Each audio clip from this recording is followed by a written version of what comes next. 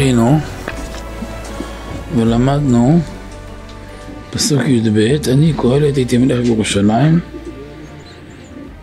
ואמרנו שזה אחד הפסוקים המסמרים שיש, נכון? אתם זוכרים? שעתיים של ערב היה ממש סדר בראש.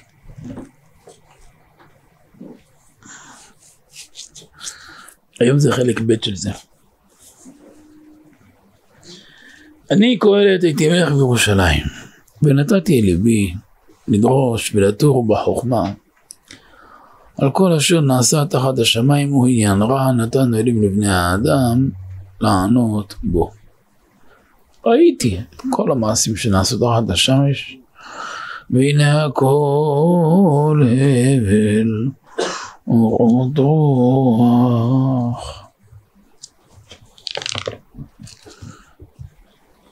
זה פרק ב' שלו, ממש פרק ב'.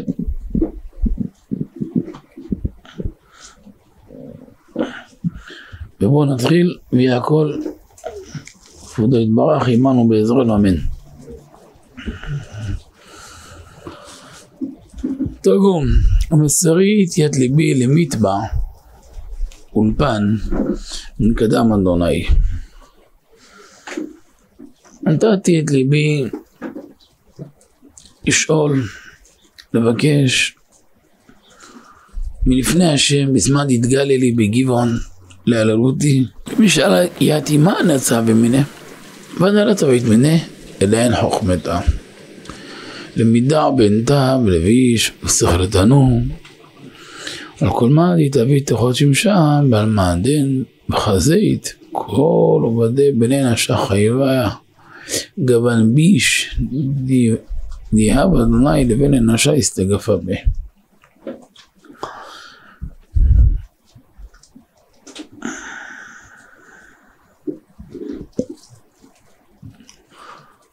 מסלול החיים הוא מסלול מורכב מאוד. מחד המסלול הזה הוא טוב, הוא נפלא, הוא חיים. מאידך הוא תובע מאוד. כדי להבין את העומק שיהיה היום, ניתן תקצירון, תקציר של תקציר, מאתמול בערב. אתמול בערב למדנו את כל מערכות של חווה שלמה. זה שלמה אשר איש ארז, ארץ, הרגיז ממלכות, שלט בעליונים, שלט בתחתונים. תיארנו מה זה נקרא שליטה בעליונים ובתחתונים. שליטה שאי אפשר לתאר. שליטה בעליונים, שליטה בתחתונים. שולט בשר הרוח, שולט בהשמדי, שר השדים. שולט במלאכי השרת, שולט בהנהגה של פמליה של מעלה, פמליה של מטה. כדור הארץ זה כבר כסף קטן. שולט בדומם, בצומח, בחי, במדבר. שולט בכל חלקי הבריאה, בכל ענפי הבריאה, בכל החלקים של הבריאה. אין פרט נעלם ממנו או נסתר ממנו. היחיד שנאמר עליו בבריאת העולם, וישב שלמה על כיסא אדוני למלך, כיסא השם. על בשר ודם נאמר כיסא הוויה, נאמר עליו. ויום אחד מוצא את עצמו השנורר, דופק בדלתות, מקבץ נדבות, מבקש פרוסת לחם, מקבל יריקות בפנים, מקבל ביזיונות, מקבל השפלות. הוא אומר, אני קהלת הייתי מלך על ישראל בירושלים. הייתי לשון עבר. למה לא הווה? אני קהלת מלך. וכאן דיברנו על קושי ההחמצה.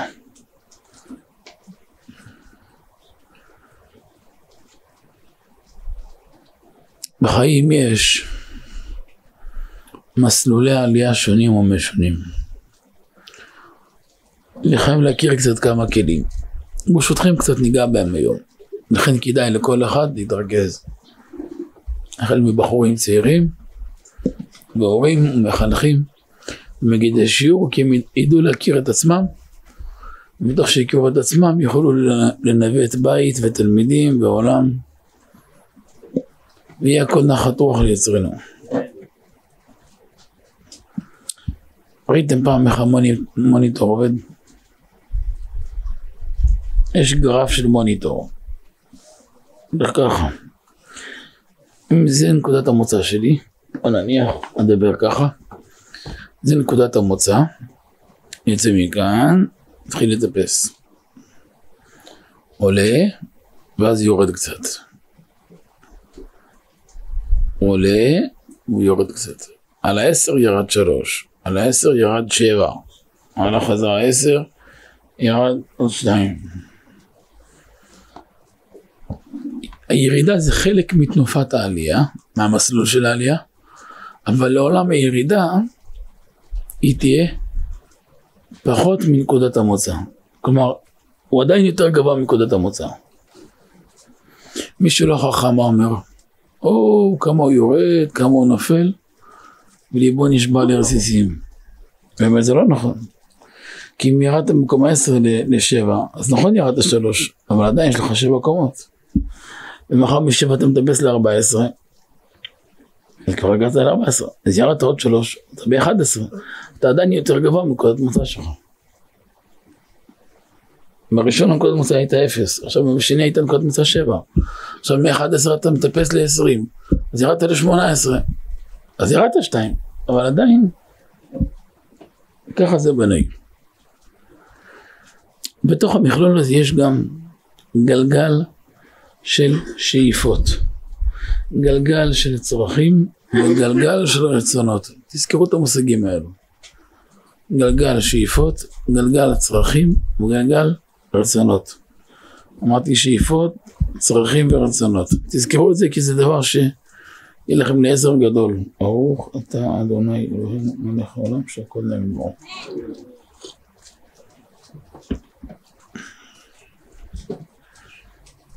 גלגל השאיפות אף פעם לא צריך לקרות. תמיד, תמיד צריך להיות חד. בתורת הרמח"ל זה נקרא הציבי לך ציונים. להציב ציוני דרך, יעדים ולכבוש. אם זה בחלקי התורה, צריך להציב יעד. גיל 14-15 לסיים ש"ס פעם ראשונה.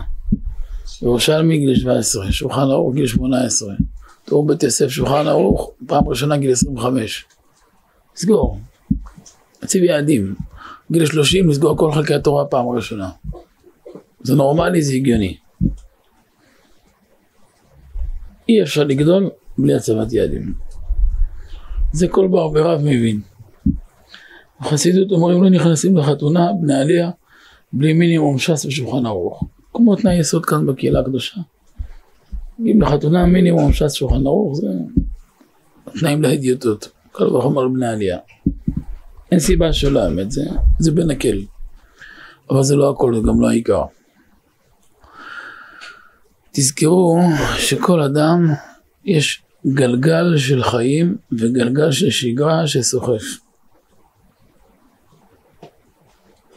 בתוך הגלגל הזה שנקרא חיים יש הרבה הרבה מהמורות. ולכן לא כל חומרה, לא כל דיוק, לא כל דקדוק ומעלה שתמצאו בספרים נוגע לכל אחד, א', ב', גם מה שנוגע לכל אחד לא נוגע בכל תקופה בשווה, וגם מה שכן נוגע, צריך הרבה שיקול דעת מתי ואיך עושים את זה. באיזה אופן שזה לא בא על חשבון אף אחד. מי שיש לו את שלושת המרכיבים האלו, לא יהיה לו טעות אף פעם עם שום ילד. אם אין את זה, אי אפשר בלי לטעות על ימין ועל השמאל ולהחריב עולמות.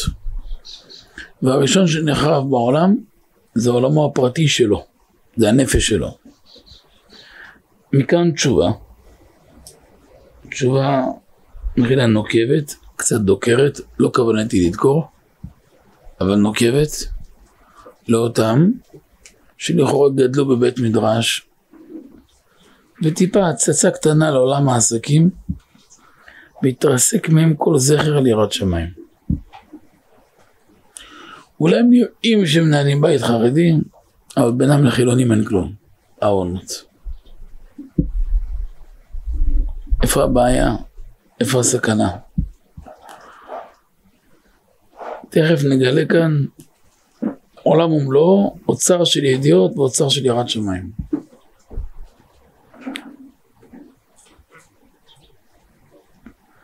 שלמה המלך, החכם מכל אדם, הגיע למדרגות שאף אפילו גישה לא דרך בהם. לא היה מישהו שהכתוב העיד עליו, שכמעט הגיע להשתוות עם משה ועם כל בני קדם. ביקש שלמה להיות כמשה, אמרו לו, וכתוב על יש דברי אמת, אבל ביקש. היה לו על מה לבקש. אף נביא לא עלה לדעת לבקש. היה בו נבואה, היה בו רוח הקודש, היה בו קדושה, היה בו תמימות, היה בו מדרגות, היה בו צדקות, היה בו חסידות, היה בו דבקות, היה בו שליטה, הנהגה, מלכות, ממשלה, ביטול, הכנעה. אבל, אגב בואו נזכור יותר מזה. בגילוי הראשון שהוא זכה, איפה היה? גבעון, מי שלמד נביא יודע. בגבעון היה הגילוי הראשון שלו. עכשיו הקדוש ברוך הוא נגלה עליו, מה אתה שואל? מה בני שואל? משה גדול, מופלג. אולי גבורה, מלכות, ממשלה, אולי זה, אולי. אמרו לו, לב מבין. לב מבין. בלב נבון תנוע החוכמה. בקרב כסילים תוודע. חוכמה כמו יין. אצל אדם חכם נכנסת כמו יין ישן, כבד, שוקע, נכנס, מתלבש. אצל מישהו קל דעת, אצל לא טוב. לב נבון תנוע חוכמה. רוצה לב מבין. למה לב מבין? להנהיג את עם ישראל. ההנהגה של העם דורש, דורשת הרבה, צורכת הרבה. ההנהגה של העם היא מצריכה המון המון. ואין פרצופיהן שווים, ואין דעותיהן שווים. גם המציאות של העם מורכבת מאוד. אדם שהוא נותן בבעיה, הוא לא רואה אף אחד מול העיניים. דורס כל מי שבא לידו. זה כמו חיה רעה. חושב כולם שפוטים שלו, כולם... זה לא נכון. לפעמים אפשר להחליק את זה, לפעמים צריך לעמוד. יש גבולות שאסור לחצות. וצריך, לכן המון המון כלים להכיל את העם. הרבה מאוד כלים. מי שיוצא לעם מתוך אינטרס, חייב להתרסק. הוא לא יכול להחזיק מעמד שעה אחת. מי שיוצא לעם זה רק מצד שליחות ולשאת מסע השכינה, יש לו סיכוי לשרוד את זה. מסע כבד, כבד מנשוא. ושלמה, לא היה לו שום שאיפה, לא רק לשמח את השם.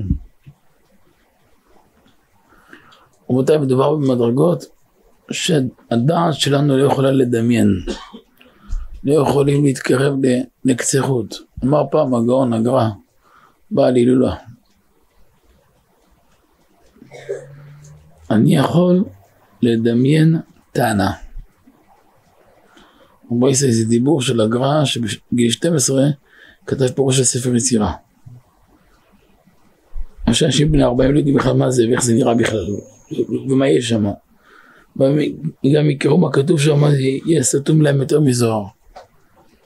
בגיל 12 כתב פירוש של זה כבר. אמר הגר"א, אני יכול לדמיין טענה, אבל אני לא יכול לדמיין סנדלר פשוט בימי הנביאים. שלמה הוא מוחזק כגדולי הנביאים ונביאים הראשונים. וזה נפקא מיני עצמו בנביאים הראשונים לאחרונים. זה דורות שונים, כמו שמואל הרמתי, כמו משה רבנו, כמו אהרון הכהן, דוד המלך. זה סדרות אחרות לגמרי. זה גם סוגי נשמות אחרות, זה...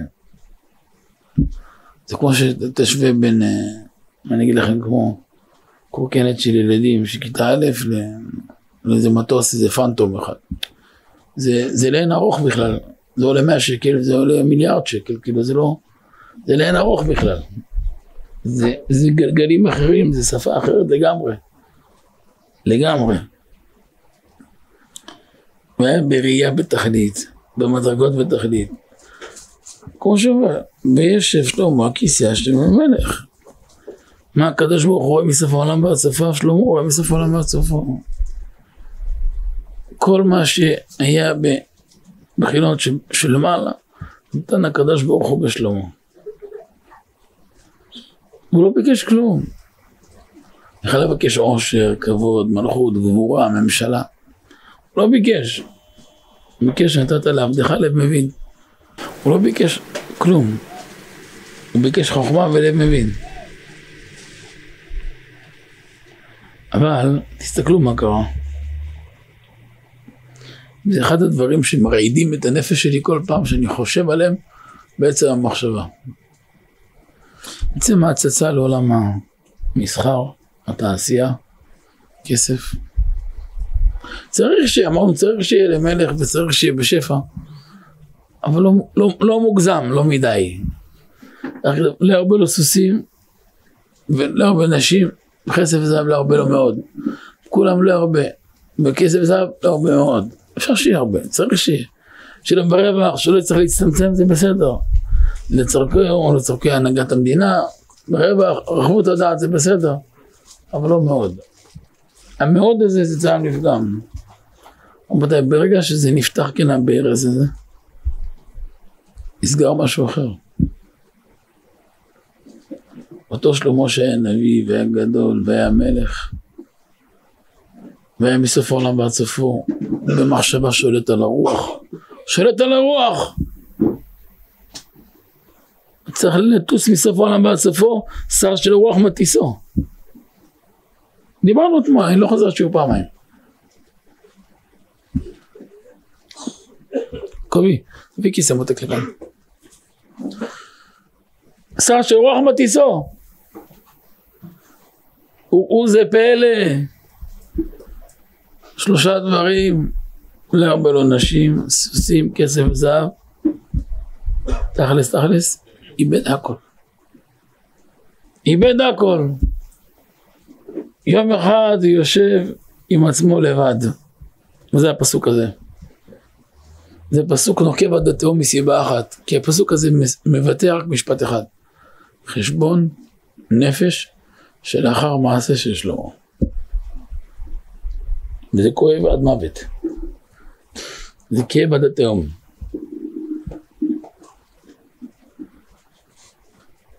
חשבון נפש עד התהום. אומר הנה הייתי מלך על כל ישראל, הייתי מלך על כל כדור הארץ, על העליונים והתחתונים, מלאכי השרת, שרים למשמעתו, נשמעים אליו,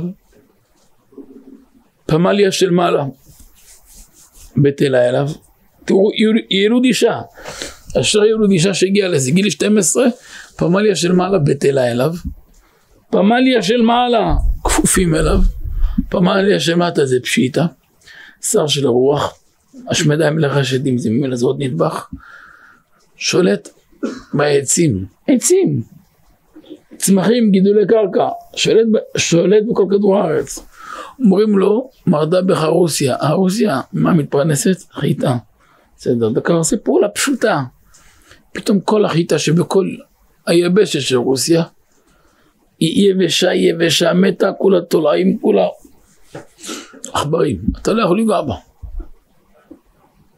כולה שלשולים. שמע, זה לא הפסד של מיליון או מיליארד, זה, זה ריסוק למדינה. שאחרי כל הגברת יש רוסיה אצלו על ארבע. שלט בכל כדור הארץ אבל ביד רמה. שלט בכל הבחינות שרק יכול להיות מציאות של ממשלה, הוא כבר היה על זה. לא הייתה פינה שנעלמה ממנו. ויום אחד מוצא את עצמו מלך על כל ישראל, זה גם טוב, אבל זה לא כל, כל, כל העולמות, זה לא עליונים ותחתונים. ואחרי שיש עליונים ותחתונים, פנימה ישראל רק ירושלים. אחר כך נשאר לו רק מקלי, מלך על מקלו. רק על המקל. מה אין אישה, ילדים, אין. פתאום הוא מוצא את עצמו לבד, לבד, לבד. לא לעולם חוסן. גם אדם שעולה, לפעמים בטוח שאני אעלה, אני אהיה גבוה, אני, אני, אני.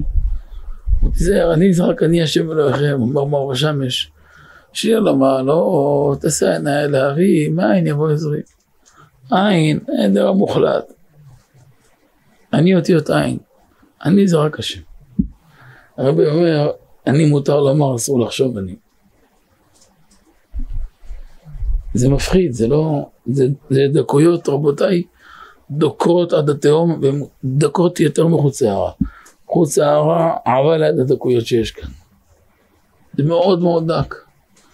הנה נבואה, הנה רוח הקודש, הנה חמש מדורים בראייה, בהסתכלות, בהבטה, בעומק, בהתבוננות, הכל. לא היה פינה שהייתה נסתרת ממנו. עולה ויורד כמו מי שמטייל בתוך ביתו. שולט בכל העולמות. מגיע עד למקומות נשגבים ביותר. אפשר לתאר רק בניגלה, בלי, בלי נסתר, רק בניגלה אולי 30 שעות, אולי מיעטתי. רק מקומות שהגיע שלמה. אני אומר לכם, תסמרנה שיער אנוש. וכל זה יום אחד מוצא את עצמו, לא מדינות, לא ממשלות, גם לא בית, גם לא אישה, גם לא, לא אף אחד. לבד עם איזה מקל סבא, יושב לבד, גונח ונאנח, ואומר, מה יצא לי? מה חלקי מכל עמלי? פחד פחדים. תראו שאדם נותן עיניו בכסף, כמה הוא אכזר. תראו כמה הוא אכזר. סותם את כל החלונות, את כל השאיפות, כל חלוני רקיע, הכל. זה אותו אחד שאתמול ייחד ייחודים בדבקות נוראה, והיום מוצא את עצמו יבש. קשה מאוד. זה חונק את הנפש, מי שמבין את זה. אבל זה כן שומר על הדורות הבאים. אמר שלמה המלך, מה יוצא לי מזה? שיזהיר על הדורות הבאים שלא יהיו חכמים יותר. שלא יהיו חכמים יותר. הדורות הבאים, חבל עליהם. הדורות הבאים חבל עליהם. תאכלו משהו שתתרעננו. החיידר לא יודעים ללמד את זה, גם הרבי לא מכיר את זה, גם המנהל שלכם לא מכיר את זה. המנהל שלכם מכיר את זה, יעשה תשובה שלמה, יהיה בן אדם, הוא לא יהיה חיה. קרנבלים לבוש אדם. להם שום, שום כלום אין להם, גם לא אלוקים אין להם כלום, יש להם כסף ותאוות שלהם. זה החליפה שלהם. ראיתי בני עלייה והם המועטים. מעט, מעט מבינים את מה שאמרתי לכם עכשיו. אבל מי שחי במקום הזה, הוא חי במקום של יראת חטא. הרב יששכר היה במקום הזה. אבא שלי היה במקום הזה. אלו היו במקום הזה. מי שחי במקום הזה, לא יכול לעשות טעויות. הוא רואה המון המון צעדים קדימה, המון קדימה, הרבה מאוד צעדים קדימה, ואפס טעויות. תמיד שקול, תמיד מדוד. מי שהכיר את הרב יששכר טוב, הוא יודע זה היה הרב יששכר. היה נוהג לעצמו כמו עני. מאידך היה חובק עולם. היה חובק עולם. ראייה שלו, וואו, זה ש... החזון שהיה לו זה היה פלא. לא הרבה זכו לזה. לא הרבה זכו לזה. אבל אפשר לזכות.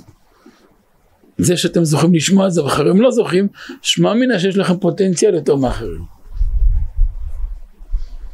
עכשיו, בואו נתחיל לראות את זה בתוך התרגום.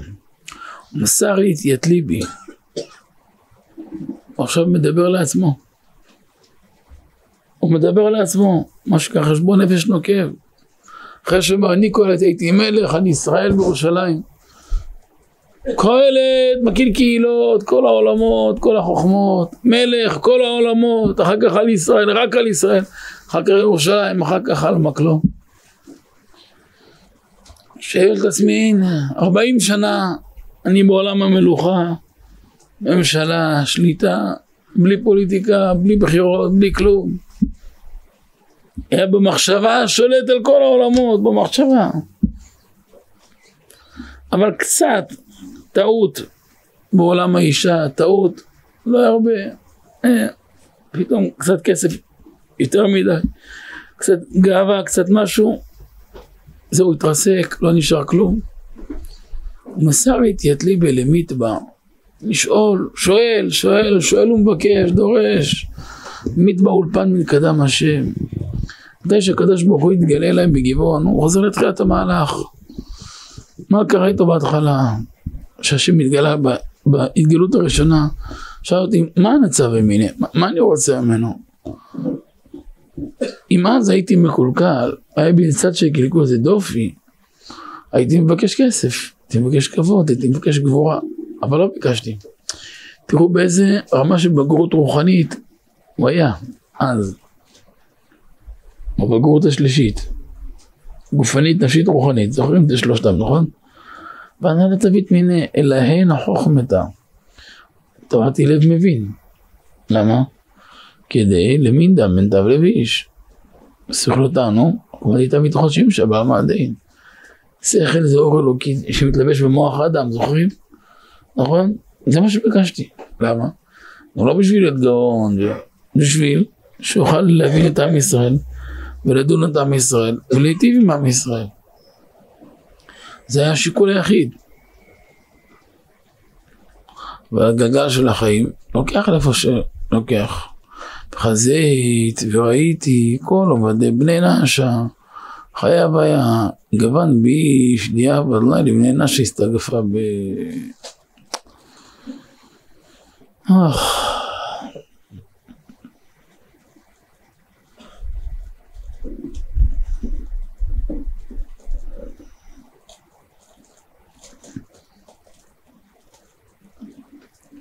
אתה רואה אדם שחבק את כל העולמות ופתאום יום אחד מוצא את עצמו לבד. במידה מסוימת זה גם כל אחד מאיתנו. כי אדם מלך על עצמו, עיר קטנה ואנשים במעט, אחר כך אמרו בגמרא, בא ילד מסכן וחכם וסבב את העיר, אחר מלא את העיר בחוכמתו, עיר קטנה זה הגוף, אנשים במעט זה לברים וכולי. אז במידה מסוימת אדם מלך על עצמו, ויום אחד מוצא את עצמו בתוך הקבר. בתוך הקבר הוא לבד. אין טלפון ואין קו ואין תקשורת עם אף אחד. אין כלום. נשאר לבד. אבל לבד, לבד, לבד. אפילו בלי המקל. בלי כלום. היה מנהג אצל חכמי אשכנז, לפני שלוקחים חתן לאולם, לוקחים אותו לבית העלמין, מלבישים אותו את החריכים, בלי כלום, רק אה, כל השבע מלבושים שעושים למנוח, משכיבים אותו בקבר איזה שעתיים, כזה חשבון נפש, ואז לוקחים אותו לעולם. משם נולדה המנגינה הזאת של דה לה לה לה לה לה לה לה שהם מוליכים לחופות הליטאים. אה, במנגינה הזאת הם מוליכים את המתים לקבר. אז אה, עושים את זה לאור לו חשבון נפש, נדע שיש מעלות אדירות בנישואין, יש גם סכנה. נזכור ליום המיטה. וזה גם הכוונה של חכמי ליטא שהם הנהיגו את המנגינה הזאת לחופות. אבל שכחו את המטרה, נשאר רק המנגינה. עשו ממנה דווקא הרבה עניינים. אבל זה המקור של המנגינה הזאת. אה, החסידים של אדמו"ר הזה כן, הם עושים ארבע בבות. במקום להתעסק עם השלילי ולזכור ליום המיטה, ודאי שצריך לזכור ליום המיטה, זה ממילא, בכל קריאת שמע זוכרים את זה. בכל אה, צד של יהודי, מעדיפים להראות לו סדר איך ממשיכים, איך מגיעים לאצילות ולאינסוף, ממשיכים אור מהאינסוף ולאצילות, לארבע עולמות, ואיך מותירים רושם עז עליו. על הנכי שלו, בגלל שבאותם רגעים של החופה יאיר מעל הראש של בני הזוג כל שלושת הצינורות של בני חי ומזונה. שאלה בזכות התלמיד, מזל התלמיד השורש הנשמה.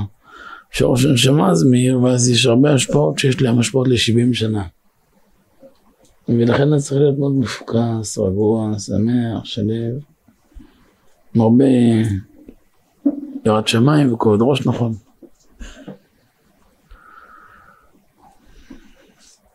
ונתתי אל ליבי לדרוש בתורה. היא החוכמה, התבונן בה על כל המעשה הרע, האמור למעלה נעשה תחת השמש. ובינה אותי בה, שהוא העניין אשר נתן הקדוש ברוך הוא לפני בני אדם את החיים ואת הטוב ואת המוות ואת הרע, עניין רע, מנהג רע להם, לענות בו, להתנהג בו. נתן אלוהים וניחו לפניהם. רשות לכל אדם נתונה, אומר אדוננו הרמב"ם. אם רצה להטות עצמו לדרך טובה ולהיות צדיק, הרשות בידו, אשריו. ואם רצה להטות עצמו רע להיות רשע, הרשות בידו. וכל אדם, קובע הרמב"ם, יכול להיות צדיק כמשה רבנו, או רשע כירובעם בן נבט. זה בחירה. ונצטווינו, ובחרת בחיים, לבחור בדרך החיים, כלומר, לקיים כל המצוות, ולמנוע מדרך המוות, כלומר, שלא לעשות שום עבירה. חס ושלום, היה באדם הזה שותא בזה עוון, אז קודם כל עוצר את הכל. עוצרים את החיים. ואז יש ארבע שלבים של תשובה שכתב אדוננו הרמב"ם. עזיבת החטא, וידוי, חרטה וקבלה לעתיד. שלא ישוב עוד לכסלה. פה הוא נכנס למימד חדש, הוא כבר מקבל טעם חדש לגמרי, מציאות חדשה, עובדה חדשה. וזה מחבר את האדם מאוד. זה מביא את האדם למקום מאוד מאוד נפלא ונשגב ועצום ביותר. עצום ביותר. זה ממש מקדש את הנפש. אומר רבן יונה בשערי תשובה, שער ג' או ט"ז, מעלת הבחירה היא מצוות עשה, שנאמר, ובחרת בחיים. ובחרת בחיים. אבל בוא נשאל שאלה. ראינו שלמה כל כך גדול, שלא מצאנו אף פעם תיאור, גם לא דומה לזה. איך יכול להיות? או מה גרם, לא איך, מה גרם לריסוק העצום הזה. הרי זה ריסוק. להיות מעל, מעל גורדי שחקים, מעל שמי שמיים, פתאום, פתאום כלום. אתם מבינים שזה יכול לקרות לכל אחד. יכול לקרות לכל אחד. אדם מתחיל לטפס, מטפס טוב, פתאום יום אחד מוצא את עצמו מרוקן. בצער גדול. מלך, אידיוט ומלך. הוא עניין רע. זה ניסיון תאוות הכסף. כשנכנסים לגלגל הזה, זה כבר נהיה עניין רע. תאוות ממון.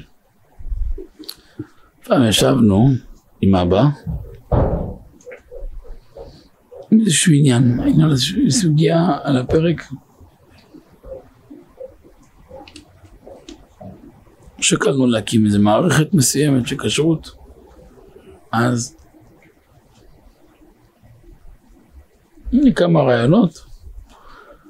וישבנו לדון, לדוח במדוכה הזאת בכמה סעיפים ספציפיים שעמדו זה על הפרק וישב איתנו ידיד נפשנו הגאון מאברהם רובין, בעל הכשרות של רובין. תלמיד חכם, חסיד, ירא השם בתכלית שקדמה ירתו לחוכמתו. יודע, יודע, יודע התורה. מדיד נפש. ואז הוא, אבא שאל איזושהי שאלה, הוא מאוד מאוד התבטא לאבא, מאוד, מאוד כיבד. בהקשר למה שאבא שאל, אז הוא אמר לו, הרב ניסן מוכיח, הכל נכון עד הכסף. גם בזה שאנשים רואים כסף, העוונות לא רואים כלום. ואני לעצמי שואל את עצמי שאלות. מי שטעם קודשא ברוך הוא כזה גדול, מי שטעם טעם של תורה באמת, מי שטעם טעם של מתיקות של סוגיה, של גילוי שכינה, של מורות אלוקים חיים, מי שזכה לשמוע תורה שמטיב את הדרכיה, מי שזכה להיכנס בראייה, בהשגה, בהתבוננות, בהעמקת הדעת. מה המקום, איך היא תייסי בכלל, מאיפה זה נפתח בכלל הפתח הזה, שסותם ומרסק הכל. אתה רואה שכן. ראתה שפחה על הים, מה שלא ראה יחזקאל ומוזים. היה קריאת ים סוף. וכולם מורים באצבע, זה אלי ונבואו.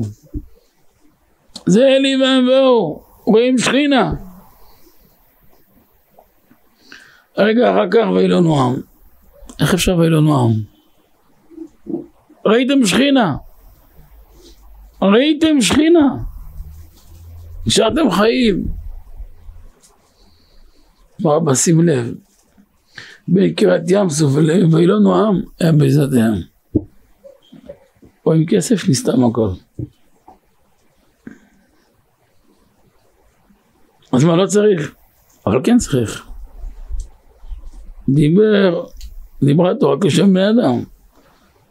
אין הקדוש ברוך הוא, הקדוש ברוך הוא בפתרונים בריאותיו. אז יש צורכי עמך מרובים. צורכי עמך מרובים. יש פרנסה וצרכים של בית. אז מה נעשה? בטח שצריך. אבל צריך לדעת גם לשים גבולות. כדי שלא תשחט הנפש.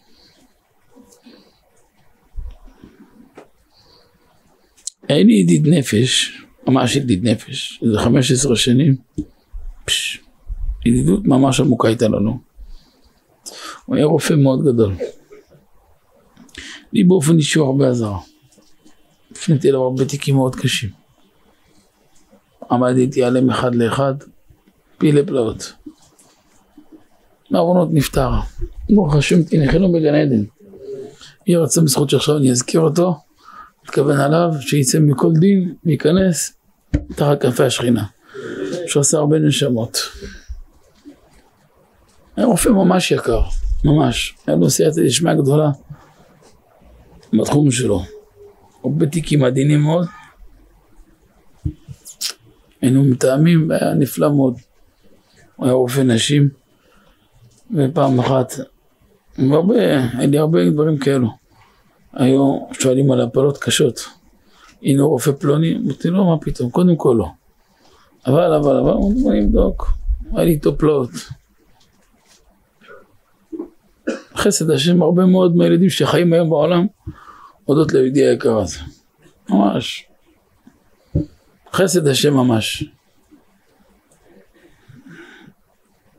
ויום אחד שאלתי אותו, יצא שדיברנו על חדרי ניתוח, על כמה נתונים.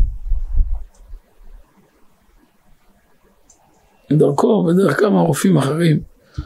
ידידי נפש, הגעתי, רוצה לנתח נפש, צריך ללמוד, לפני כן ללמוד את הגוף ואז את הנפש.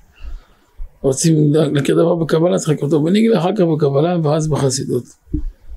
שלבים, אז איתו למדתי הרבה דברים שבפיזי ואז יכלתי להלביש את זה את החלק של פן הלכתי מפה, או קבלה או חסידות מנדבכים נוספים, ואז דיברנו על חדרי ניתוח פעם בהקשר סוגיה אחרת שעסקנו בה. אז אומר לי הרב, אני לא נכנס יותר מפעמיים בשבוע לחדר ניתוח. ואני יכול להיכנס כל יום, יש לחץ עליי כל יום להיות שם, ואני יכול לבלות את כל יום בחדר ניתוח. יש סוללה של ניתוחים, ואני אקבל פי שלוש. אז מה הבעיה? אם המניע שלך זה פרנוסה, אז מה הבעיה? אני בן אדם. אני רוצה לשמור על הערכים של בן אדם. מי שמכיר, קשה לומר את המילה הזאת, חדר ניתוח זה קצביה במידה מסוימת. מחילה על המילה, על הדיבור הבוטה. חדר ניתוח זה נגריה וקצביה ביחד. לא נראים ככה, הם נראים לבוש יפה, הם נראים מאוד טוב, אבל אחרי הכל זה, זה קצביה אמיתית, זה לא קצביה ונגריה. כנסו בתוך הסוכה.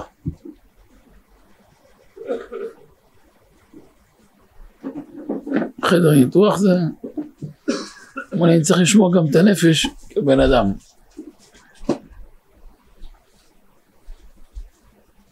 אני זוכר שפעם עסקתי בסוגיה מאוד כבדה באיזה בית יוסף מאוד כבד. בעניינים מהם, הנה חסר לי ידיעה טכנית. התקשרתי אליו בערב, שעה מאוחרת. אני ממש ידידי נפש, דוקטור, מה נשמע? מה התוכנית שלך? אמר לי, מה שהרב רוצה. אמרתי לך, חסר לי ידיעה, אני צריך שעתיים. אמר לי, בוא, אני בא עם בית יוסף לעומת חברותה. בסדר, הרב, אני מחכה. אמרתי לו, בקליניקה ישבנו, עקפתי איתו את כל הסוגיה. אמרתי עכשיו, זה דברי הטור, זה הבית יוסף, זה הראשונים, ככה, זה ככה. זה לשון, ככה, ככה. עכשיו בואו תוריד לי את זה לפיזיקה. התחלנו לנתח, לנתח, לנתח. רגע, הופ, הופ, עצור. לפי זה, זה טמא, זה וזה וזה טהור. ככה וככה וככה. מצוין. אמרתי, רגע, תשתוק. בוא נלמד. מזה יצאנו הלאה. זה פלא פלאים, כאילו, זה ממש פלא. איש חסד, אני מפליג בשבחו כי אני חייב לו הרבה. אז רוח השם תניחנו בגן עדן. זו טובה שאני יכול להחזיר לו. טוב, אז משם ראינו משפט, אומר לך, שמע, נכון שאני יכול להיות שם הרבה? צריך להיות בן אדם. אני משליך את זה גם בנושא של ממון. צריך להתפרנס, חשוב להתפרנס. וחשוב שיהיה כל הצריך והמצוי לו במילוי ורווח. אבל כדאי לאדם להיות שקול בזה, להיות מתון בזה.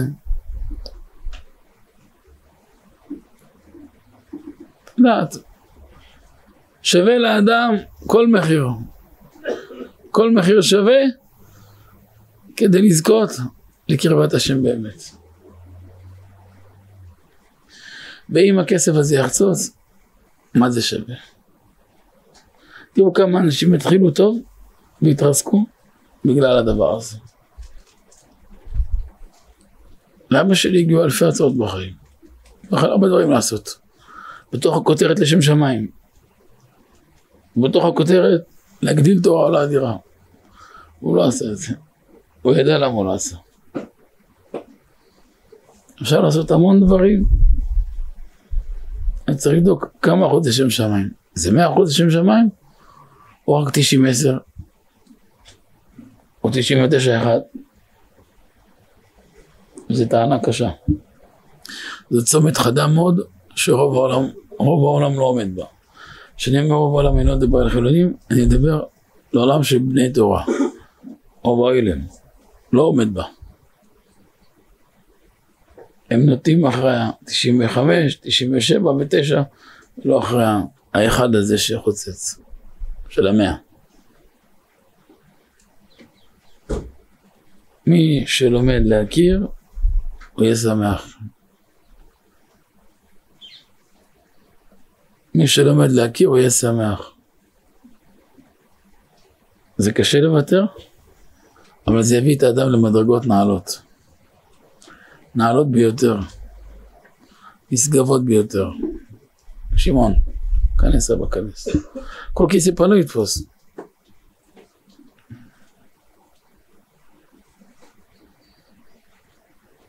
זה מפתח שמי שיתפוס אותו, הוא צולח את החיים.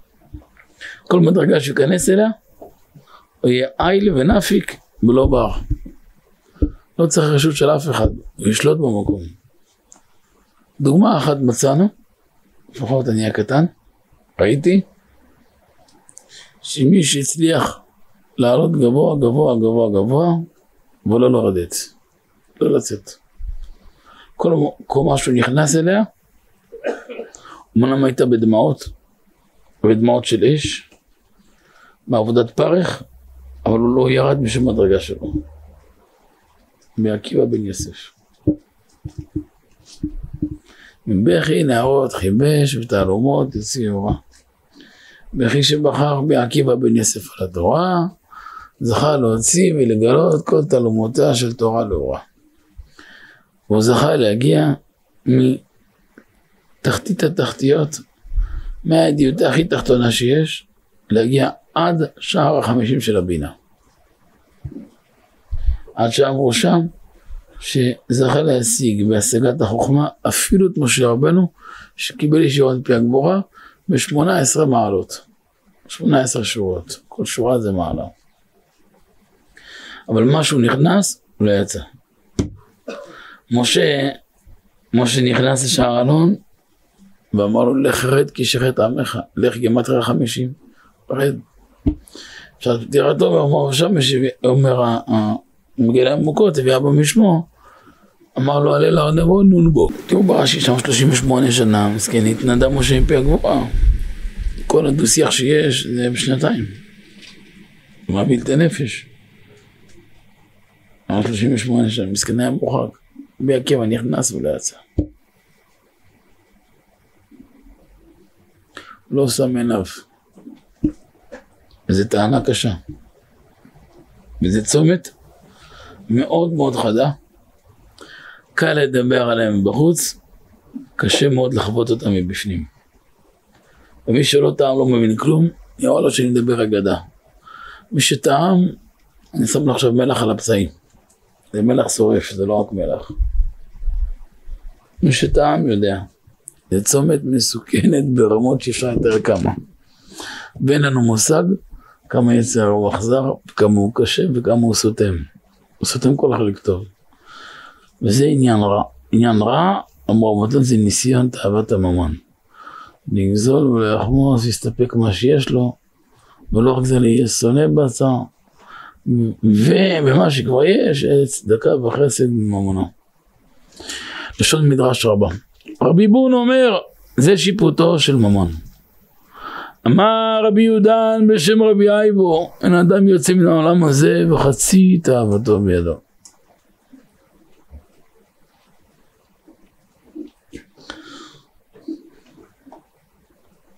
ישבו לפניי בבוררות, למרות שלא לא עוסק בזה. למרות שקצת עסקת בעבר, לא, בורח מזה כמו מאש. שלושה קבלנים גדולים.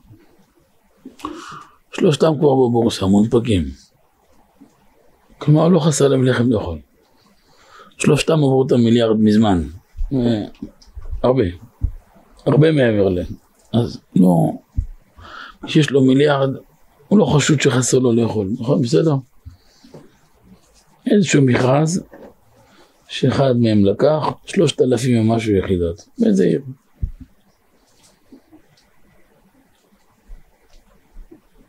עשה מעשה גדול מאוד בעיניי.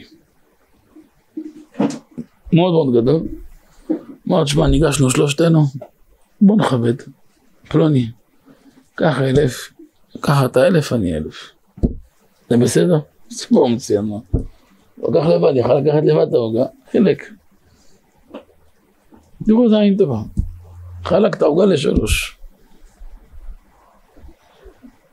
מה אלמוני אמר? אם הוא חי, אני מוציא לו את העין. השני מוציא לו את העין לשנייה. דברים מאוד קשים. הגיע לפסים מאוד מאוד נוקבים. הגיע, אמרתי דעתי, לא משנה. הם יצאו ואני תפסתי את הראש עד הבוקר. זה היה 11 בלילה, 12. עד 4 בבוקר תפסתי את הראש, אמרתי, תראה חביבי, איפה הם נמצאים? לא חסר לא זה ולא זה ולא זה. יכולים לצפות את כל הכבישים רק בסטפות, בחבילות רק, לא ב... שם חבילות או שם מעילות. הוא מוכן למות כדי שהשני לא... תגיד, אתה, נורמלי? מה חסר לך? עכשיו, אני מכיר את שלושתם הרבה מאוד שנים אחורה. ושלושתם לא היו שם, והשם הביא אותם. השם אותך. אחד מהם לפני שמונה תשע שנים היה כבר על פשיטת רגל, על מחילה על פת לחם היה. השם עזר וטיפס. אחד מהם בכלל יצא מאיזה אשפה. למה נמצאים שם? אתה שואל את עצמך, תגיד לי זה. אני בעיניי דבר כזה, יוצא כזה דחייה וגועל ברמה ש... יכול להקיא את זה ברמות שאי אפשר את זה בכלל. למה נמצאים שם בכלל? זה תעתוע של דמיון. למה זה דומה בעיניי? כמו ילד שמשחק במונופול. יש שם הרבה כסף, אז זה כזה של מונופול. זה לא כלום. ותאר לך שהוא יהיה כזה גיבור ויצליח להדפיס, יהיו לו משטרים של כסף. אני יכול לקרוא לו עשיר? בשפה של המונופול כן, בעולם לא. יש לו מיליארדים, טריליארדים, ביליונים.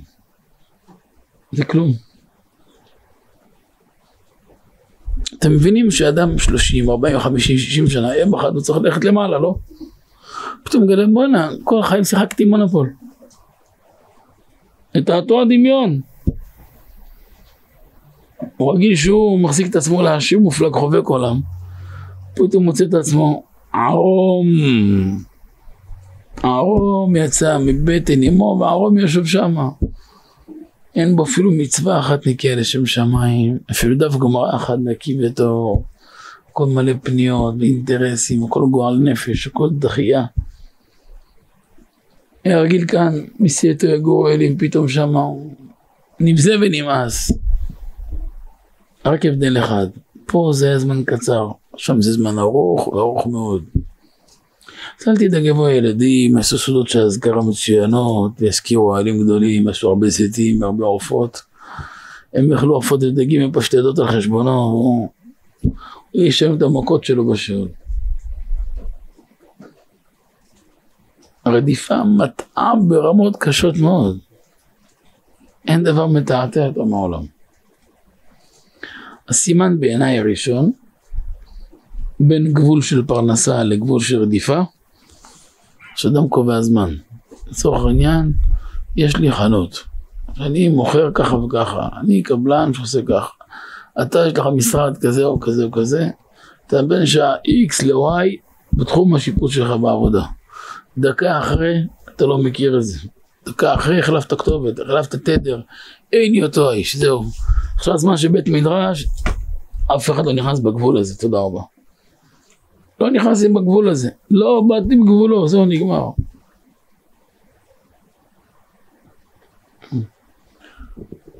לפני איזה עשר שנים, זה איש יקר מאוד. מעולם התייעץ על איזושהי עסקה של אולי 350 מיליון יורו. הרבה כסף. תגיד מיליארד, אז בערכים של אז מיליארד וחצי שקל היה העסקה הזאת. שאלתי כמה שאלות, אמרתי זה לא שלך. אמר לי לא לא הרב אתה לא מבין, אמרתי בטח שאני לא מבין, אם הייתי מבין הייתי במקום הרבה יותר טוב, אבל זה לא שלך, חבל לך על הזמן. אמר לי מה כן הסימן? אמרתי לו, אתה לא צריך לצאת מהארץ בשביל זה יותר מפעם אחת, ואתה לא צריך לבטל תפילה אחת בסדר אחד. יש לך את השעות שאתה במשרד שלך, מ-X עד Y בימים אלו, זהו, ברכה, מה ששם כן. הרב לא מבין, בסדר. יכול להיות שהרב שלך טמבל. מאוד יכול להיות, בסדר. הוא התרוצץ על העסקה הזאת שלוש, שלוש וחצי שנים. 40-41 חודש. נכון? 36 חודש זה, נגיד 42, שלוש שנים, שלוש וחצי שנים. משקיע לפחות מיליון דולר רק בניירת והתרוצצות סביב העסקה הזאת. ממוצע כל שבוע הוא טס. לאירופה, לשם, לפה, לשם, לעולם וחצי. כל נשיא מדינה שאי אפשר בדרך לפגוש, כבר פגש אותו וראה ושאל ושמע ודיבר. החליפה נתפרה, היא הכי יפה בעולם על אחת עליו. שבוע לפני גמר המכרז האחרון, איזה מושבניק פה מאיזה מושב בדרום. אני אפילו לא יודע, אדם ערבי מגושם, כמו סיר חמין שמונה כזה, סיר שמונה כזה, משהו, לא... לא יודע אם יודע לקרוא מספרים מימין לשמאל, משמאל לימין, לא יודע אפילו איך... איך הגיע בכלל הרעיון הזה אליו. החליט שהוא ניגש. הוא ניגש והוא לקח. לא היה כאב דוקר לאותו אדם יותר מה, מה הכאב הזה? יכין, זה וצדיק ילבש. הוא תפר את כל התיק, את כל המכרז, את כל הפרויקטים שיהיה, זה תפירה שלו הייתה. עם השר ההוא ועם הנשיא ההוא ועם ההוא. היה איזה שש ראשי ממשלות, נשיאי מדינות בעולם מעורבים באותו מכרז. בערך איזה 17 שרים היו מעורבים שם. ים של דברים. תפר את כל החליפה? לא מושבניק כזה. נו, פשוט. הוא לקח, ועוד היום הוא שמח, הוא עובד באותו מקום, הכל בסדר. וזה נשאר בחוץ. הוא הכין את החליפה והשני. לקח 30 חליפות כאלו הוא הכין, ואפילו אחד הוא לא לקח.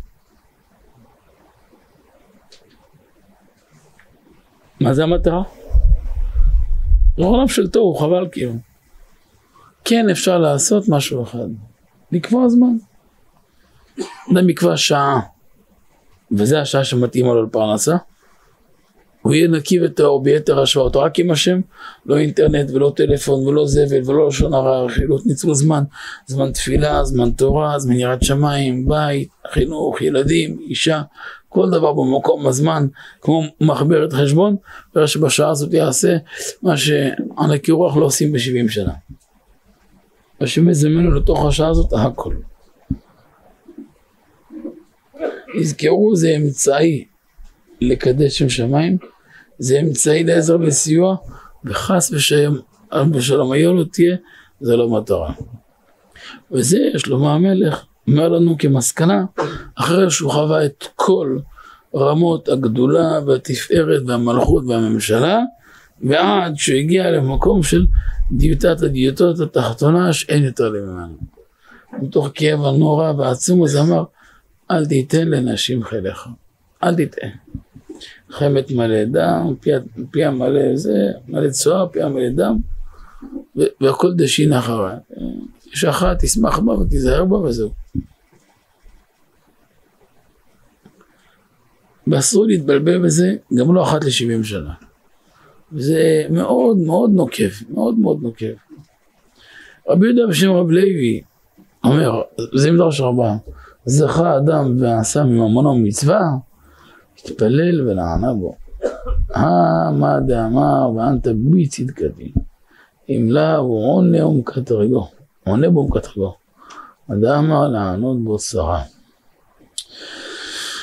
אם כבר השם מביא, זה לא בשבילך, זה כדי להיות כלי להיטיב עם העולם, עם העולם והבריאה כולה. רבי יוחנן אמר זה שיפוטו של גזל. זה מרבי שמעון בר אבא, שרבי יוחנן משל לשיאה מלאה עוונות. מי מקטרג בראש כולם? זה... למה רבי יהודה שרבי יוחנן ויצעם בראש כולם. רבי יעקב ברחב שרבי יוחנן אמר כ"ד חטאות סידר יחזקאל. ומכולם לא חתם אלא בגזל. 24 סוגים של קומה חטאת, אבל הכי קשה בהם, זה כתיב, והכיתי כפי על ביצעך אשר עשיתי. עוד מדבר הפסוק הזה שאדם מזהר מהעץ הרע, שרוצה להפריע לו ולבטל אותו בלימוד התורה. שאין לנו שיעור על התורה הקדושה הזאת. ונזכור תמיד מדרש משלי, פרשה י', אנחנו מתאר שאדם יבוא למעלה אחרי 120 שנה, הוא ישאל שאלות. שאלות חזקות מאוד, שאלות כבדות, כבדות מנשוא. ארוך מקרא שקרית, משנה שנית וכולי וכולי, הרבה טענות. יודע לענות כי אם לא הקדוש ברוך הוא מסובב פניו, כאילו אסור להסתכל ב... זה קשה, אפילו לומר זה קשה. על מה יסמכו? זה מעורר הרבה הרבה חשבון נפש. רבנן דתמן בשם רבי יצחק דהכה ורבי טוביה בשם רבי יצחוק. טובתו אדם לומד תורה ושוכח, שלא יהיה אדם לומד תורה ולא שוכח, היה מתעסק בתורה שניים שלוש שנים, וחוזר להתעסק במלאכתו, ולהיה משגיח בעל העולם כל ימי חייו. לא שאדם לומד תורה ושוכח, לא מזיז ולא מזיע את עצמו מדברי תורה. ראיתי את כל המעשים שנעשו תחת השמש. חזיתי את כל עובדי בני אנשה. דוד את חודשים שעה, בעל מעדין, והכל אהב לו תבירות רוחה. הנה בוא ניקח דוגמא, התחלנו בעולם הבינוי, בוא, בוא, בוא ניגש אליו חזרה. הנה רצים עכשיו קבלנים, רצים מכרזים כמו פרפרים אחרי קרקעות, אחרי נדל"נים. אז הנה אז הוא לקח, אתה יודע מה? לבריאות, הלך, גדל. לפני כמה זמן, יצא לי, בתוך הגלגל, יצא לי לשבת עם אלפים רבים של אנשים. אין לי איזשהו שיקול לטובת בית המדרש, לעשות איזשהו מהלך. בשביל בית המדרש, אברכי. ישבתי עם קבלן מסוים, אמר לי משהו, התיישב לי על הלב.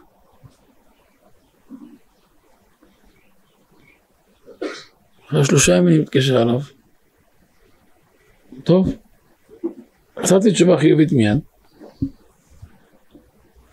לא, לא, מה פתאום? למה לא, פתאום? אתה נקבת. המחירים התייקרו. יכול להרוויח עוד כמה שקלים. אמרתי לו, מה? מה אתה מדבר? אני נגעלתי אותו רגע. נגעלתי ברמה של גועל. כל מה שדיברתי איתך, כל כך הרבה דברים היה, היה בגו. מה, וככה בשנייה אתה מוכר? אז הוא חשב אולי ירוויח עוד כמה שקלים. שירוויח אותם. כמה מיליארדים כאלו מכות מחכים לו בדרך. בעולם ככה נוהג. זה טעימה גדולה, זה טעימה, טעימה. זה טעימה, מי שטעם אפילו טעם לחלוכית של אמת, הוא לא יכול לראות אחרת. במשפט מסכם אמר, תבינו או לא תבינו זה בידי שמיים, יש לכם 40 שנה להבין. אבל כן תזכרו את המשפט הזה. ותזכרו אותו, אבל תחרטו אותו עמוק עמוק. זה אומללות גדולה מדי לרדוף אחרי העולם הזה. תחרטו את זה בעת ברזל, תזכרו. אני מאמין שאתם לא מבינים את זה, ויקח לכם עשר או עשרים או ארבעים שנה להבין, אבל כדאי לכם. ביום שתבינו את זה, אתם תראו בשנייה אחת אחרת. זה אומללות גדולה מדי לרדוף אחרי העולם הזה. יש דל, מרום, יכאה, אומלל זה הרמה הכי גבוהה, הכי קשה. זה אומללות קשה מדי. שמעתם לא להתפרנס? חובה להתפרנס. אתם יודעים מה? תשאפו להיות עשירים, אני הולך איתכם. למה? תוכלו להיטיב עם הבריות, בסדר. אבל בגבול הנכון, בטעם הטוב. אם פעם אחת בשבעים שנה התבטלה תפילה בגלל זה לא שווה כלום. אם יתבטל סדר זה לא שווה כלום. יש זמן תורה זה קודש, זמן תפילה זה קודש, השכמה זה קודש, חצות זה קודש, אשמורת זה קודש. מה שדרך אגב יבוא, את השם משולם. אין מעצור ביד אדוני אלושיו לעוד למעט. סיפר לי ידיד נפש, תלמיד של רב אושר. ידיד נפש. יום אחד, אז רב אושר קרא לו, אברך דל, ממש חי בזוטות, אלופיית 127, מי שזוכר את ה... אמר לו, אני סומך שתי ידיי עליך, שבהם אתה דואג לכל המוסדות, אתה מביא כסף למוסדות. אני, אלפיים שקל בחודש, עד 127. כן. צריך מאה אלף דולר אז, צריך מאה אלף דולר חודש, לא יודע מה היום, אבל אז נגיד, אז הון עתק. אמר אה, לו, אל תדבר, שמחתי שתי ידיי עליך. תמשיך להיות אברך, הפסקת צורה מתעסק עם זה. איך מי שחייל שקל ועוד שקל מופיע, מביא מאה אלף דולר ומיליון דולר, איך הם הגיעו למספרים האלו? כאילו לא... טוב, הוא היה אמריקאי, ואז התחילו המחשבים הראשונים. שלוש שמונה ארבע, ישנים מאוד. אז ההורים שלו קנו לו בשביל שיהיה להם קשר איתו, אז המחשב היה יותר אפשרות, יותר זול, יותר קל. התחילו הצעדים הראשונים של האינטרנט. השרץ הזה עוד לא פשוט בעולם, יותר נקי, יותר מסחרי. הגיע הביתה, פתח את המחשב, אמר מה, לא יודע כלום. פתאום צצה מודעה, דרוש משהו, כתב פרטים. תוך כמה דקות השם עזר לו לעשות שידוך. התחלתי באחד וחצי, אמרו לי בשעה שתיים וחצי, שעה אחרי, היה לו עמלת תיווך בחשבון, מאה אלף דולר. הבנתי שאם צריך לזה, שעה ביום, מספיק. גם זה הרבה. הוא נשאר בזה. עכשיו מה להסדרים שלו. השם עזר לו לפתח עולם מולו. זה מאוד יפה, זה טוב. אבל אצלנו למה זה לא ככה? כי כל ניסיון קטן, כל איזה מישהו כימת את האף ליד, או כל איזה מינוס קטן מטריד, מפיל ברוח, עזוב, מה אתה, שרוק עליו. צריך להסתכל על העולם מלמעלה, לא מלמטה. אם מסתכלים על העולם מלמעלה, אוכלים הכל, אין בעיה. שמע פרופורציה, כשאדם מגיע למעלה שלא יתבייש. רש"י יש שתי הפסוקים. ונתתי את ליבי לדרוש בתורה, החוכמה, מתבונן בה כל המעשה הרע, אמרו למעלה נעשית החדשה, ובינותי בה. שהוא העניין הרע שנתן הקדוש ברוך הוא לפני בני אדם. את מה? את החיים ואת הטוב, ואת המוות ואת הרע. הכל אשר נעשה מלמד מה בכל תורה, שלא רק בדברי תורה בלבד היה שלמה תייר, היה בקיא החמוד, היה מחפש, מעמיק בחוכמה, והכל אשר נעשה תחת השמיים, כגון איך ממתיקין תחת על, איך ממתיקין תורמוסין, איך מכינים יין, פלפלין, מים, שליש, עוסק ברפואות, עוסק בכל דבר. הוא עניין הרע, רבי בון אמר זה ממון, רבי עיבוד אמר אדם רוצה מן העולם וחצי תאוותו בידו.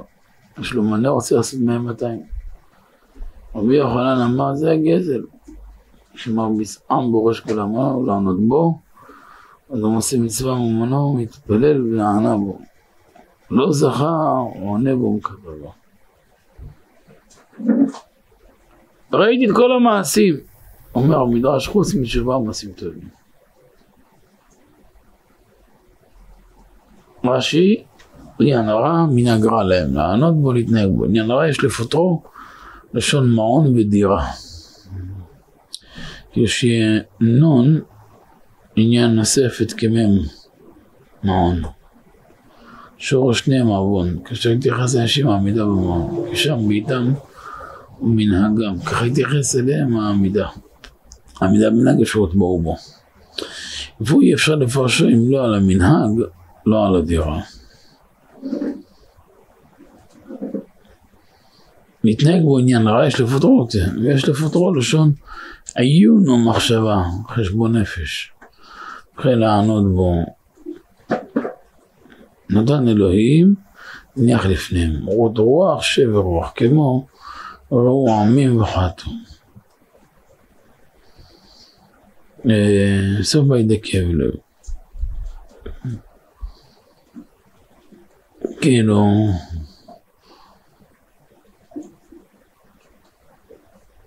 התאווה זה בור עמוק שאין לו סוף. כמה שאדם יעשה מעשים הוא לא ישלים תאוותו.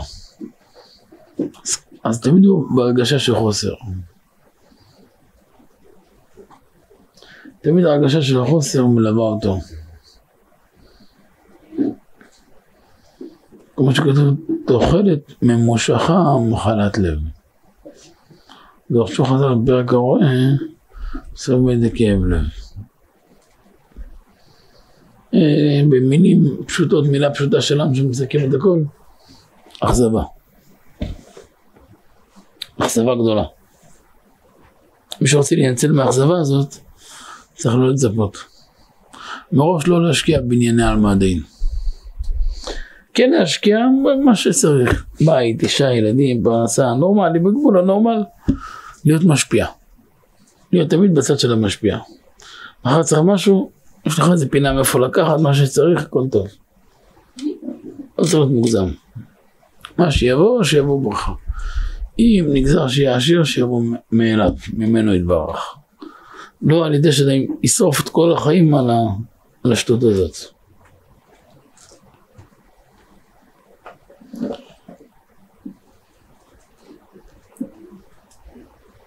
אולי נסגור את הפינה הזאת עם איזה עניין קטן. בקבלה מבואר כמו שיש לכל אדם דיוקן, פרצוף, פנים. יש לכל יום פרצוף, זה נקרא פרצוף הימים. כל אדם מורכב מרמ"ח איברים של סגידים.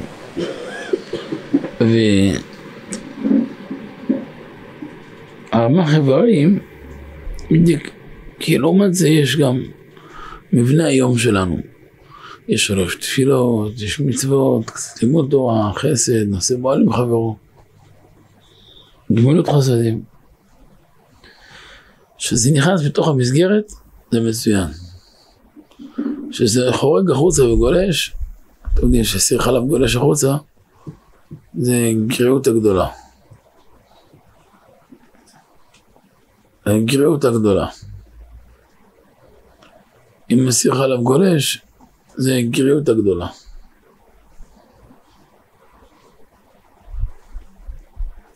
אז אפשר להשקיע ונכון להשקיע במקום הנכון, בטעם הטוב.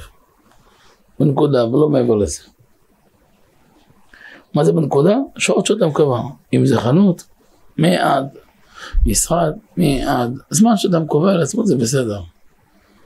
גם הוא קובע את זה בהתאם ללוח היהודי שלו. יש לו זמן של תפילה, זמן של השכמה, זמן של בית, ילדים לא גדלים לבד, עציצים יכולים לגדול לבד, ילדים לא גדלים לבד. גם יהיה טרוד בעולם שלו, וגם היא טרודה בעולם שלה. הם במה יהיו טרודים? צריך לחיות את המקום הזה. וזה תובע. ואז אדם יזכה שהוא רואה שהעמוד שדרה שלו זה, מצפ... מצ... זה תפילות, מצוות השם, זה לימוד תורה, חסדים. אז יראה שבמעט שהוא משקיע יש בו הרבה ברכה. השם מזמן לו את כל השפע שבעולם בתוך הזמן הזה. וזו הנקודה שלו.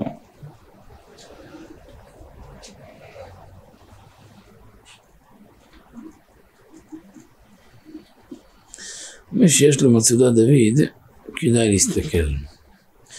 מצודת דוד י"ג י"ד ונתתי את ליבי, שמתי את ליבי לדרוש ולבקר, לא מראית העין, רק בחוכמה, בהבנת השכל. חקרתי על כל הדברים הנעשים תחת השמיים בזה העולם. ואז, הוא עניין רע, רוצה לומר, הבנתי שזהו דבר רע מה שעזב אלוהים והניח כל המעשים לבני אדם לתת להם הבחירה לעשות כחפצם למען אותם בגמול המעשים בעבור חופשית הבחירה כי לולא הבחירה אין עונש. ראיתי במראית העין את כל המעשים הנעשים בדבר הנותן תחת ממשלת השמש. הספר הקניינים המסור ביד מערכת השמיים. זכר השם שבי פרט הרבה בתחתונים, בולטת. במספת הקניינים עשו ביד מערכת השמיים וזכר השם שבי בולטת הרבה בתחתונים כמו שלמעלה בתחילת הספר או בזה העולם במקום זרחת השמש ראיתי. והנה הכל ההבל בעיניי ראיתי שכולם הבל המה בלי תועלת עוד יש בהם שפע רצון עושיהם כי לא ישיג תשוקתו ונכזב בתוכלתו אבל אותו אחד שכן זכה להיות איש ואוהל. כמה שעות ביום, בית מדרש, תפילה, בית השם. גם שהוא לא שם, המוח שלו שם, הלב שלו שם. זה כוח גדול. רבותיי, זה כוח עצום לקניין נצחי. זה קניין נצחי, זה קניין שלא מחיר. זה קניין ששווה כל מחיר. אז למדנו היום דבר גדול מאוד. היום למדנו את נקודת החשבון נפש של שלמה המלך, אחרי 40 שנה של מלכות, של ממשלה בעליונים ובתחתונים, עליות וירידות, וירידות קשות, בסוף לאיפה הגיע? לנקודה של הבנה, ולהוריש לדורות הבאים את הניסיון שלו. אתם יודעים שבאים לקראת חברה, המוניטין זה דבר גדול מאוד. תכלס. אומר שלמה, אני נותן לך מתנה. תן לי כסף, כל המוניטין שלי. נצל אותו. אז אדם סתם משהו לא יכול להגיע לבדוק את זה, אבל מלך כזה כן יכול. לא היה גבול של מספר של כסף, של זהב, של עוצמה, של מלכות, של ממשלה, של שליטה, של ראייה, של השגה, של התבוננות, של הבטה, של העמקה. איפה שתשים אותו והוא שוחה, עמוק עמוק עמוק באמצענו. רחוק רחוק מיראינו. אין סוף של נבואה, אין סוף של גדולה. ובסוף נשאר לו מקלו ותרמילו. בכאלו היקפים, אם אחד מוצא את עצמו בחזרה על הפתחים לשאול לחם, תחשבו זה הקצנה הוא עבר. וכל דבר בסוף הוא הבין אותו. הוא הוריש לנו לדורות הבאים. לכן לומדים את ספר קולט בסוכות. כי אומרים לאדם, שמע, אמרת אלול, אמרת ראש שנה, כיפור, סוכות. שבוע הבא אתה חוזר לחיים, יוצא לחורף בריא, מתכונת חורף. שמע אדוני, תזהר שלום לא יבלבל אותך. אפשר, צריך, חשוב, אבל בטעם הטוב. תשמור על כל אחד במקום שלו, אתה יודע איפה אתה שם את עצמך, את הלב, את הנפש, את התורה שלך.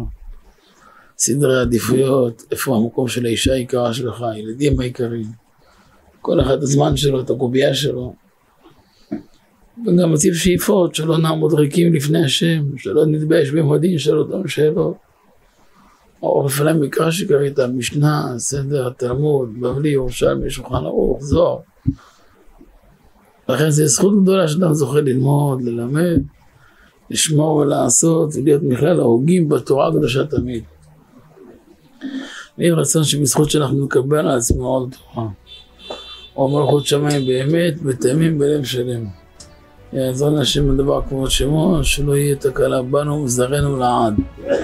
ובקרבנו ממש תחנה השכינה הקדושה. ויזכה לשפע של ברכה, שפע של שמחה, שפע של דבקות. כל מעשים יהיו רצויים ואהובים והגונים לפני השם יתברך. לשום תקלה בנו וזרענו וזרע זרענו לעד. כן בנו ואני זאת בראיתי אותם אמר אדוני כוחי אשר עליך דבריי אשר בשבילך לאמור שמפיך ומפי זרעך ומפי זרע זרעך אמר אדוני מעתה ועד עולם אמן כן יהיה רצון. תזכו לשנים רבות, נעימות וטובות, שיהיה הכל לרצון ונחת לפניו יתברך, נזכה לגאולה שלמה ברחמים, לעשות נחת רוח לפניו תמיד כל הימים, אמן כן יהיה רצון. ברוך אדוני לעולם, אמן ואמן.